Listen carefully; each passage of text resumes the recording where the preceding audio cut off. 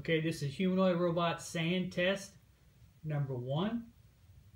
My uh, Darwin Mini is standing in for C3PO. This is a test to see how well a humanoid robot can walk in the sand. This is one of series of tests I'll do.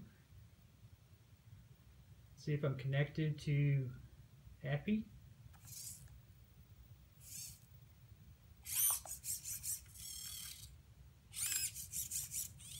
This is play sand. You can see here.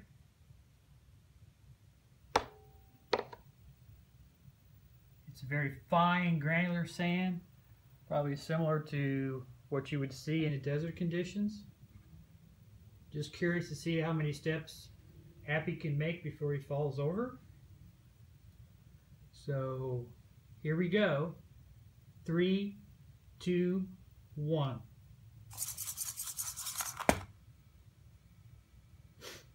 As you can see, he takes a few steps, falls over. So you could probably say that's a failed test. Sand is very, it's everywhere. I'm all kind of worried about that. So that completes, as you can see, he dug into the sand as he was walking. He got sand, a lot of sand in his feet.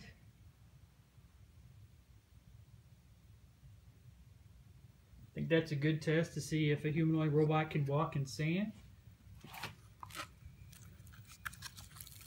Still sand coming out of his feet.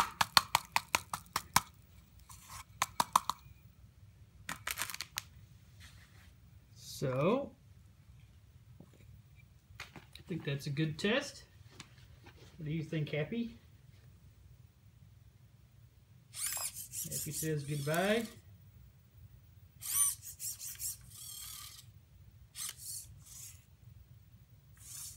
That is humanoid robot facsimile stand-in test for C3PO. Thanks for watching this video.